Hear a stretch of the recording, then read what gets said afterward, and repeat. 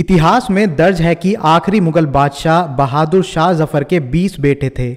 उनमें से दो बेटे, यानी कि मिर्ज़ा जवान बख्त और मिर्ज़ा शाह अब्बास की यह तस्वीर सोशल मीडिया पर बार बार सामने आती रहती है। ये दोनों आखिरी मुगल बादशाह बहादुर शाह ज़फ़र के वंशज थे और ये फ़ोटो सोशल मीडिया पर यह दिखाने के लिए डाली जाती है कि मुगल असलियत में वैसे हट्टे कट्टे और सुंदर नहीं थे जैसे फ़िल्मों और टीवी सीरियलों में उनको दिखाया जाता है।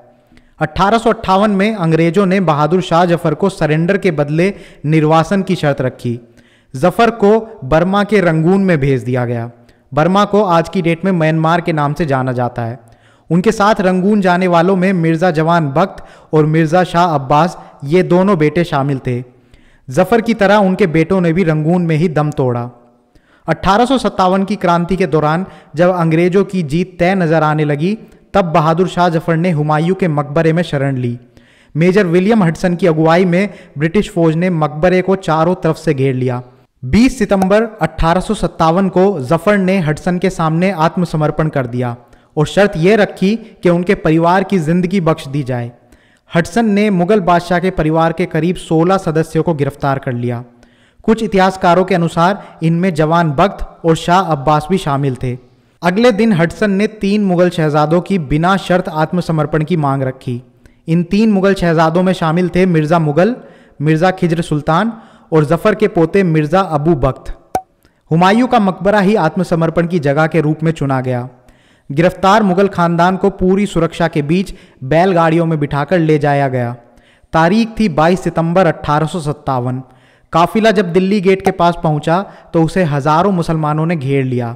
सबने सिर पर कफन बाँध रखा था।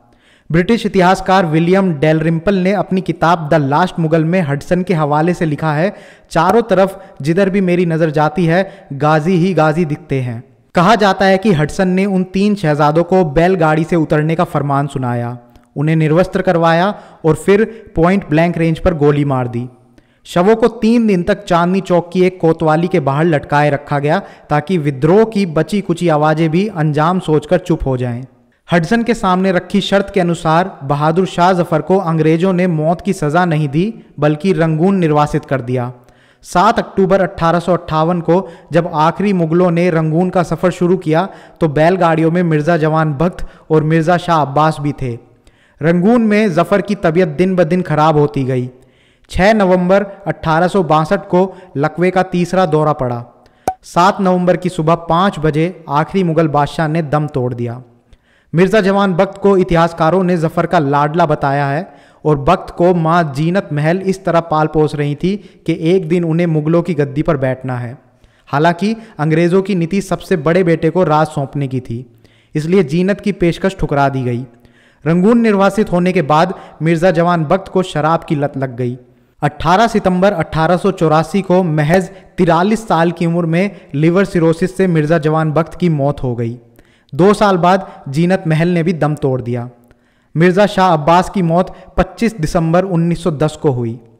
मुगलों के वंशज अब किस हाल में हैं, यह पता लगाने की कोशिशें बार बार होती रहती हैं।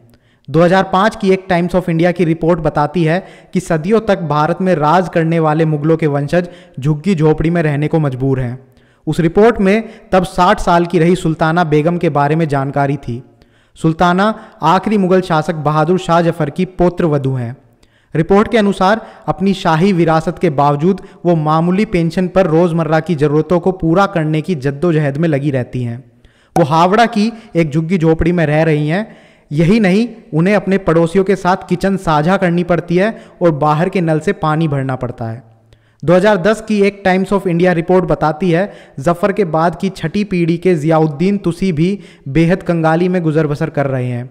किराए के घर में रहने वाले तुसी ने उस टाइम की यूपीए सरकार से मुगलों की जितनी भी संपत्तियाँ हैं, उन्हें उनके नाम पर जारी करने की मांग की थी। सरकारी नौकरी के बाद उनकी ज़िंदगी पेंशन पर ही चल रही है। अगर आप ऐसी खबरें और जानना चाहते हैं और देखना चाहते हैं तो नीचे कमेंट सेक्शन में लिख के बताइए और इस वीडियो को ज़्यादा से ज़्यादा लोगों तक शेयर कीजिए।